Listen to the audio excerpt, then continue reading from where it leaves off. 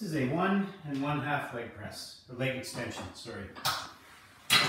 Depending on the machine, you may have to adjust the seat up or down or up or down this way. You always want to make sure that your knee, the pivot point on your knee, is in line with the pivot point on the machine.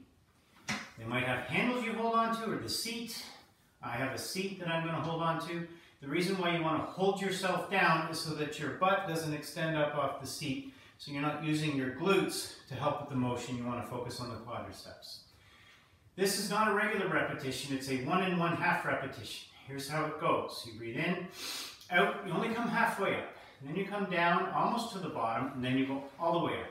That's one repetition. Breathe in, halfway, down, all the way. Two, down, halfway, down, all the way. Three. Notice at each stop, I stop for a second. I actually pause, pause here, good contraction, except I don't pause at the bottom. Okay, I want to pause where there's a contraction on the muscles.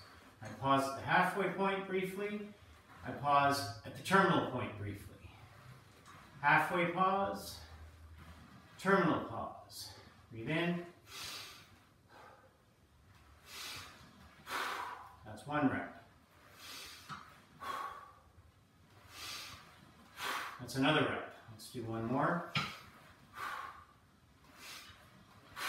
There you go. Your one and one half repetition leg extensions.